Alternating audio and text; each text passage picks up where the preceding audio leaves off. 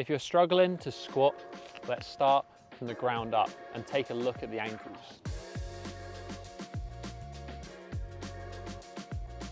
Today I've got four different drills for you to work with to improve this flexibility, but first let's take a little look at a test to see if this is your limiting factor. Two things for this test, you're gonna need to be barefoot or in a zero drop shoe, so we're not cheating, and then you're gonna need a wall. We're gonna take a kneeling position and we're gonna be one hand's width, including the thumb, away from the wall. We're then gonna shift the knee over the toes to try and touch the wall. If we can touch, that's a pass. If we can't mm. touch, then it's probably something that we're going to need to work on. I should note that the foot needs to remain flat at all times. We don't want to be lifting the heel off to try and make this happen and cheating the test.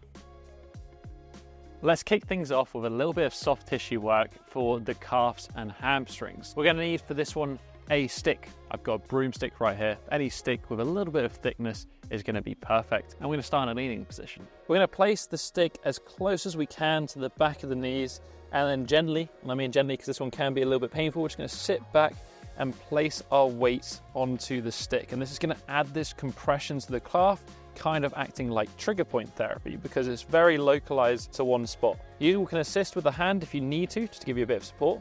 And then over the space of two or three minutes, we're going to gradually just come out of it, move the stick down slightly, sit back on it.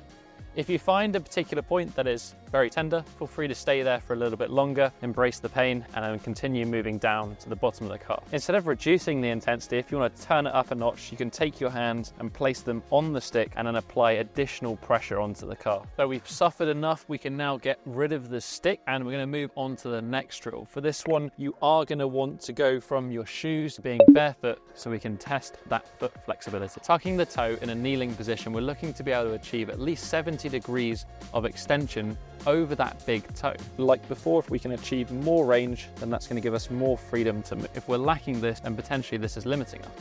Using the corner of a wall, we can place our foot as close as we can, running the big toe down, creating a stretch over the big toe and into the arch of the foot. Whilst holding this, we can think about applying some PNF. So I'm going to try and press the big toe into the wall, building up a bit of effort. I want to hold this one for 45 to 60 seconds per side. Then relax and try to shift the knee closer to the wall. Next, let's stretch the calves. We're gonna go for a pretty standard single leg calf stretch here. You can be set up against the wall as I am or on a step.